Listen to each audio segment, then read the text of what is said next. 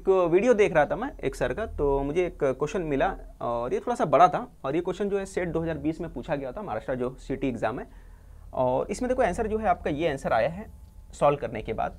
और थोड़ा सा लंबा था, थोड़ा लेंदी था। मुझे लगा कि इसको शॉर्ट में किया जा सकता है। और जब शॉर्ट में किया जा सकता है तो मैं बोला कि चलो बच्चों को बता देते हैं कि शॉर्ट में कैसे किया जा सकता है, ताकि सबका फ़ायदा हो जाए। तो देखो कैसे करेंगे, उसके लिए ना आपको कुछ बातें याद होना चाहिए। आपको एक वैल्यू याद होना चाहिए tan fifteen cot fifteen sine eighteen ये सब याद होना चाहिए। अब बोलोगे, सर, ये याद करना ज़रूरी है। बिल्कुल ज़रूरी है, क्योंकि एक बार एग्ज़ाम में ना साइन एटीन का डायरेक्ट वैल्यू पूछ दिया था। यहाँ पे क्वेश्चन में दे दिया कि साइन एटीन की वैल्यू कितनी होती है? और ऑप्शन दिया था। तो अब जिसको याद था कि साइन एटीन की value root five minus one upon four होता है, वो डायरेक्ट आंसर बता दिया था। तो प्रीवियस ईयर क्वेश्चन में एक बार वो डायरेक्ट वैल्यू पूछ चुका था। हो सकता है आगे चल के कॉड का पूछ ले, साइन का पूछ लिया किसी का भी वैल्यू डायरेक्ट पूछ सकता है। ठीक है? तो वो वैल्यू आपको याद रखना चार पाँच वैल्यू है, उसको मैं टेलीग्राम चैनल पे अपलोड कर दूँगा। तो उसको परफेक्ट कर लेना, याद कर लेना आप। इसको शॉर्ट में कैसे करना है वैल्यू पुट करके वो देखते हैं हम लोग। तो सबसे पहले क्या करना है, आपको वैल्यू पुट कर लेना। वैल्यू देखो टीटा की वैल्यू अपने हिसाब से ले लो। टीटा की वैल्यू 45 उमूमन लेने का कभी कभी 30 ले लेने का। अब यहाँ पे 45 लोगे तो क्या होगा? देखो ये फाइव अपॉन जो पाई अपॉन फोर कितना होता है? 45 होता है। टीटा की वैल्यू अगर मैं 45 ले लेता हूँ तो दोनों क्या होता है? ज़ीरो हो जाएगा। और देखो, यहाँ पे भी ज़ीरो हो जाएगा। तो वो मज़ा नहीं आएगा। ठीक है, यहाँ पे 90 हो जाएगा। तो 90 वगैरह होता है तो फिर आंसर थोड़ा बेहतर नहीं आता। तो हम लोग काम करते हैं थीटा की वैल्यू क्या ले लेता हूँ? मैं थर्टी ले लेता हूँ। थीटा की वैल्यू क्या लेता हूँ? थर्टी ले लेता हूँ। अब थीटा की वैल्यू थर्टी लेके मैं सॉल्व करता हूँ। देखो, थीटा की वैल्यू अगर मैं थर्टी लेके सॉल्व करूँगा तो ये थीटा जो है, थीटा की वैल्यू अगर मैं थर्टी ले लूँगा तो टू को थर्टी से मल्टीप्लाई कर दोगे तो कितना हो जाएगा?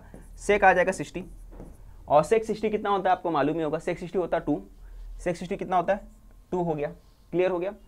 और इसी तरह टेन और यहाँ पे भी हो गया। टेन सिक्सटी कितना होता है? तो टेन सिक्सटी कितना होता है? रूट थ्री होता है। रूट थ्री तो हमारा आंसर क्या है? टू माइनस रूट थ्री ठीक है? तो हमारा आंसर होना चाहिए टू माइनस रूट थ्री होना चाहिए। अब थीटा की वैल्यू ऑप्शन में पुट करके देखो, जहाँ पे इसको सेटिस्फाई करेगा, वही आपका आंसर होगा। तो आप देखोगे सर कि यहाँ पे cot pi upon four theta है, यहाँ पे थीटा माइनस कर दोगे तो कितना आ गया? कॉड फोर्टी फाइव है ना? यहाँ पे माइनस करोगे तो कॉड सेटिस्फाई नहीं कर रहा है। अब यहाँ देख लो कॉड कितना है? सिक्सटी तो कॉट सिक्सटी कितना होता है? कॉट सिक्सटी हमने देखा भाई कि cot sixty one upon root three होता है तो ये भी सेटिस्फाई नहीं कर रहा है। फिर टेन सिक्सटी देख लो टेन सिक्सटी कितना होता है? टेन सिक्सटी जो होता है रूट थ्री होता है तो ये भी सेटिस्फाई नहीं कर रहा। अब ये देख लो, आखिरी वाला ऑप्शन है ना? तो यहाँ पे टेन फिफ्टीन आ गया। टेन फिफ्टीन कैसे आ गया? ठीक है? फोर्टी फाइव में से अब थीटा थीटा यानी कि थर्टी थर्टी माइनस कर दो, कितना आ गया फिफ्टीन टेन फिफ्टीन की वैल्यू कितनी होती है? तो टेन फिफ्टीन की वैल्यू जो होती है टू माइनस रूट थ्री होती है। ठीक है? तो ये सेटिस्फाई कर रहा है, इसका मतलब यही हमारा आंसर हो गया। कैसा लगा वीडियो कमेंट्स करके बताइए।